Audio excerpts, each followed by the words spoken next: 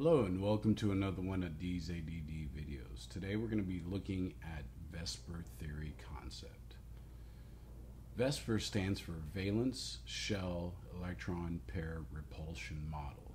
And that's quite a mouthful, so people just use VSEPR.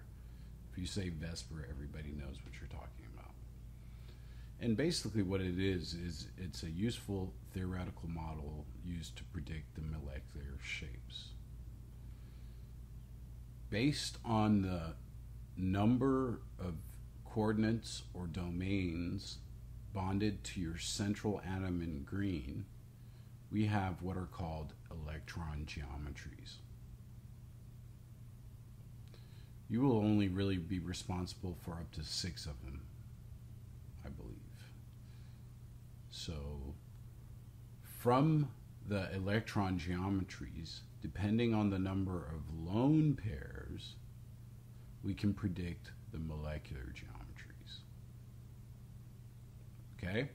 So, number of domains or coordinates in red, reddish orange, whatever you want to call that, will give you the electron geometry.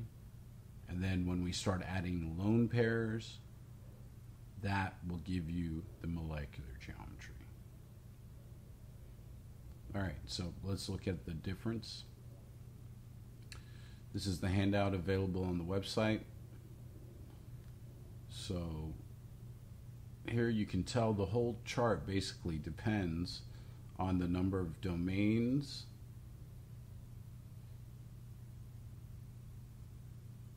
and then here the second column is going to be the number of elements that you actually have so these are actual bonding domains. Okay. So of the domains, you can either have bonding domains or you can have lone pairs here in red. And the lone pairs, what they do is they alter the basic electron geometry to give you some slight variation of that geometry that has a specific name. So that would be your molecular geometry. So you can see that anytime your number of domains is all accounted for by bonding domains, meaning there's zero lone pairs, your electron geometry will be the same as your molecular geometry.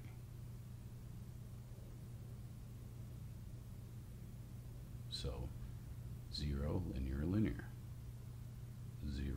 trigonal bipyramidal, trigonal bipyramidal.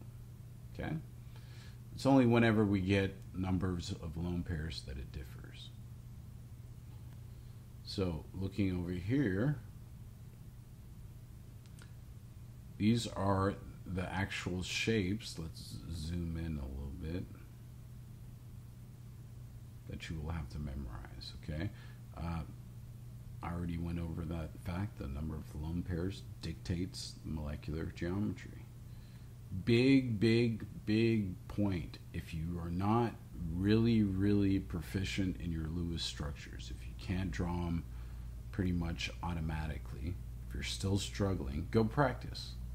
You need a firm grasp on Lewis structures prior to understanding these VSEPR geometries.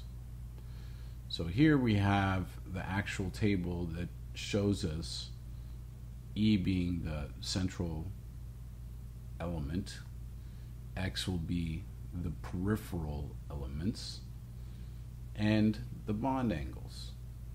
Notice that whenever you have a lone pair present,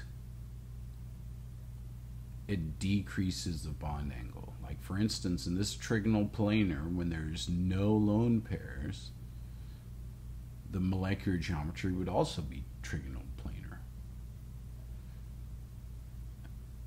But when we add a lone pair, the bond angle that used to be 120 degrees in between each bond angle, or between each element, now gets decreased on the side opposing the lone pair. The reason is that these bonds are formed by electrons. And now I have tagged on electrons here that have a lot bigger density, meaning there's a bigger region which they can be.